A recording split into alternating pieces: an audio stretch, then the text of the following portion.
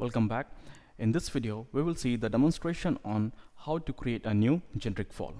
So details of new generic wall are, it's a basic generic and the thickness for the new generic wall will be 350 millimeter. So let's switch to Revit.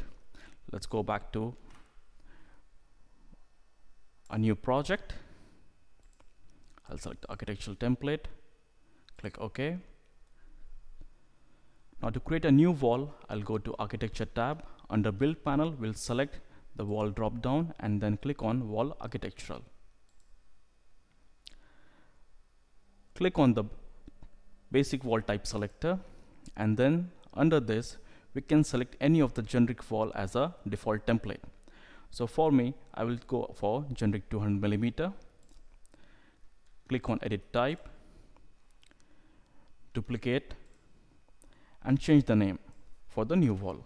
So I'll change it to three generic 350 millimeter and then click OK.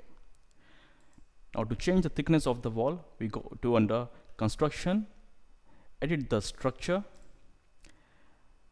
Now here you will see right now there are only one layer is present which is surrounded by core boundaries. So just remember core boundaries never count into the layers. It looks like it is a layer, but it is never a layer.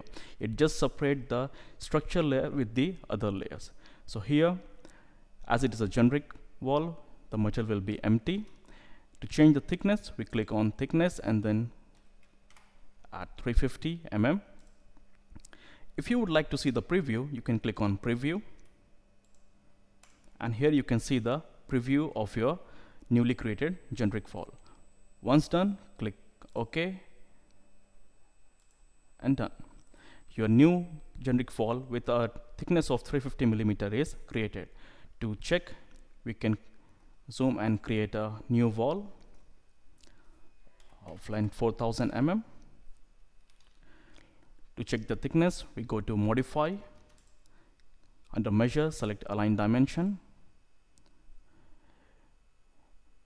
I like to check the dimension from one face to other face. So press tab from the keyboard tab again and then click.